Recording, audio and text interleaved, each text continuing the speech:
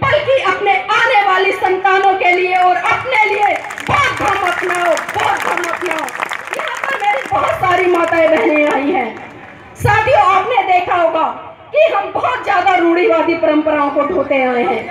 एक घूंघट प्रथा जो कि हमारे समाज में एक बहुत ही बड़ी बीमारी है आप सभी मेरी माताएँ बहनें यहाँ पर बैठी हैं इसलिए मैं ज़िक्र करना चाहूँगी कि आज जितनी भी मेरी माताएँ बहनें हैं सभी घूंघट धारण करती हैं।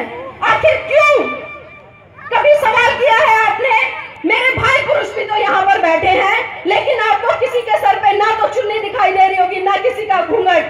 क्या सिर्फ़ ये रूढ़िवादी सोच हम महिलाओं के लिए है? हम सारी महिलाएँ शादी के बाद घूंघट करती हैं।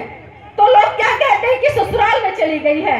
सास है ससुर है, बहुत सारे लोग होते हैं, इसलिए इन्हें घूंघट करना चाहिए, क्योंकि यहाँ की बहू है। अगर वो बहू है और जब हम बात समानता की करते हैं तो एक जब बेटा कहूँगी दामाद जब अपनी ससुराल जाता है तो जब वो महिला अपनी ससुराल में घूंघट करती है तो उस दामाद को भी अपनी ससुराल में घूंघट करना चाहिए।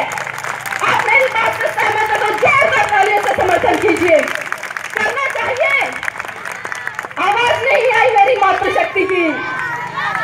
तो एक का प्रोग्राम, जिस दिन आप अपना घूंघट उड़ाड़ देंगी, और कहेंगी पुरुषों से कि आज हम महिलाएँ आपके कंधे से कंधा मिलाकर चलने के लायक हो गई हैं। तो हमें भी समानता का अधिकार दीजिए। और समानता का अधिकार कभी मांगने से नहीं मिलता, मेरी बहनों। हमें छीनना पड़ता है। अभी मेरी बहन चिल्ला रही थी कि हमें चाहिए आज़ादी, मनुवाद से आज़ादी, चूड़ी से आज़ादी। चाहिए नहीं, आप छीन लो इस आज़ादी को, क्योंकि ये हमारा हक है। और जब तक हम अपने हक की लड़ाई नहीं लड़ेंगे, आपको कोई भी अधिकार देने नहीं आएगा। और इतिहास